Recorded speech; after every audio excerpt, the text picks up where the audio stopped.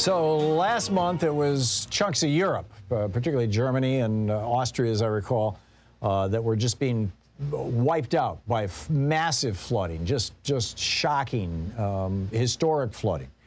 Uh, today it is New York and New Jersey and the and the Northeast. Um, uh, you know, you, you, down in Louisiana, you sort of expect hurricanes from time to time, but uh, what is happening in, in, in the in the in the Northeast is is close to unprecedented. Extreme weather is very much on the rise. I wanted to check in with uh, Dr. Ben Strauss. He is the CEO and chief scientist at Climate Central, climatecentral.org. Uh, his Twitter handle is uh, either at Climate Central or at Ben underscore Strauss, S T R A U S S. Um, Dr. Strauss, welcome back to the program. Tell, tell me about the, this, you know, what, how, how rapidly is this happening? How, how, what can we expect to be happening over the next five or 10 or 15 years as a consequence of what we're seeing right now? Yeah, well, first of all, Thom, thanks so much for having me back. Um, sure. Pleasure to be here.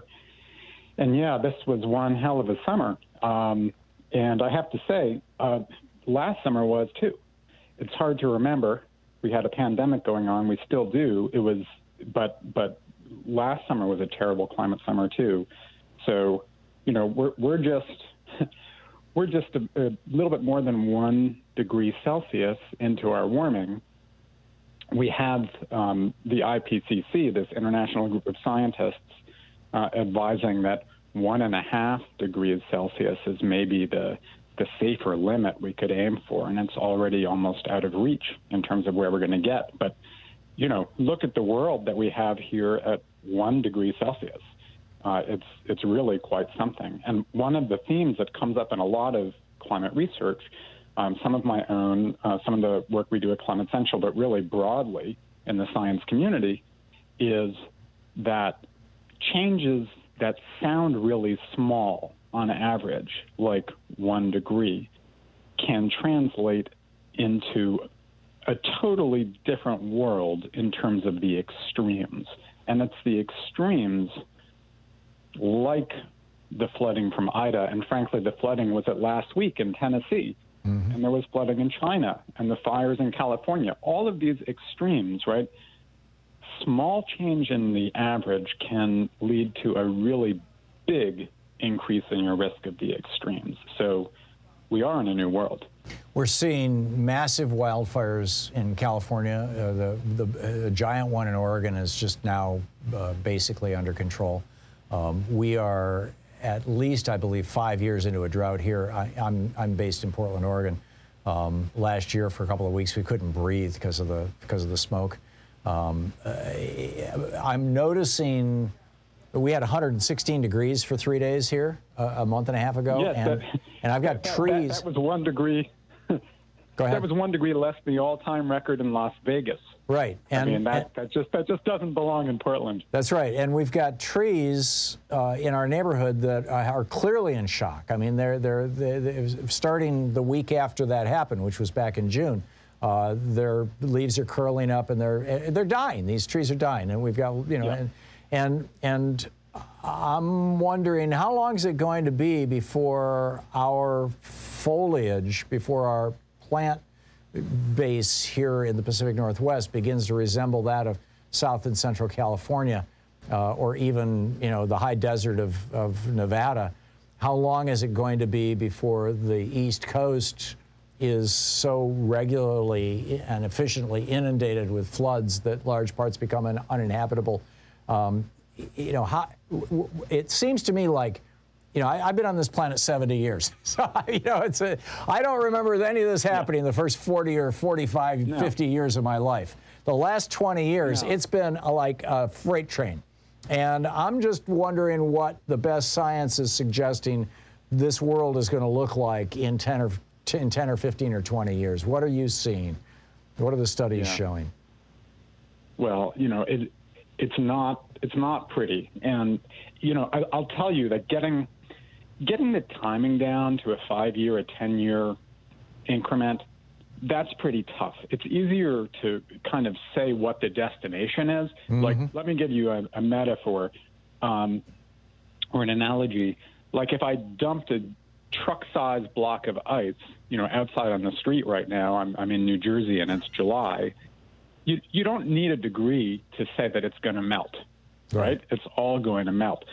Much harder to say, you know, how exactly many yeah. ounces mount melt per minute and exactly when does it finish. But right.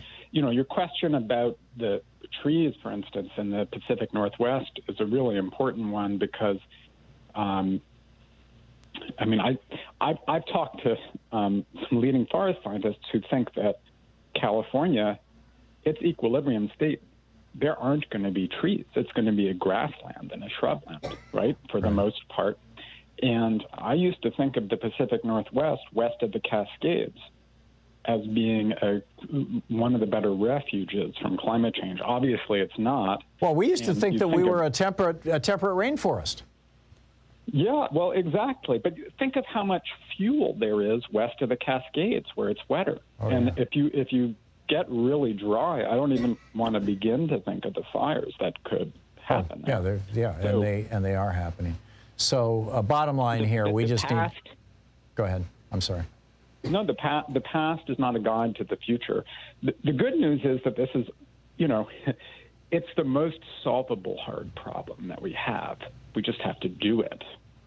Right. There's this nuclear reactor 93 million miles away from us, a fusion reactor that is blowing way more energy at us than you know, on our best days the entire planet uses from fossil fuels.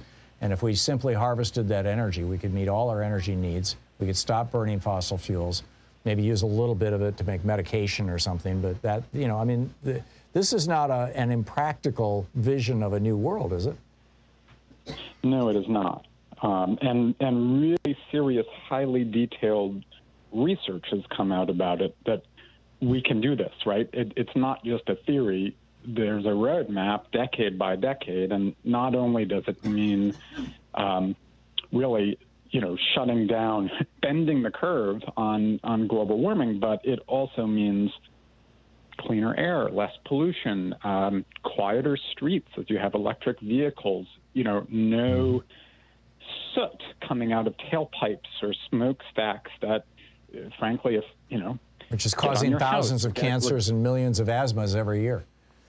It, it, it's cancer and asthma. It's also just mundane things like the snow turning gray after it snows, yeah. uh, or, or cities getting grimy and gritty.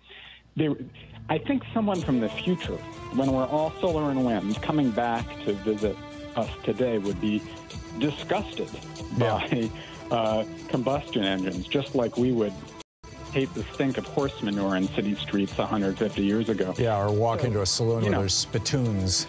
I get it. Exactly. Dr. Ben Strauss, exactly. climatecentral.org. Thank you, Dr. Strauss.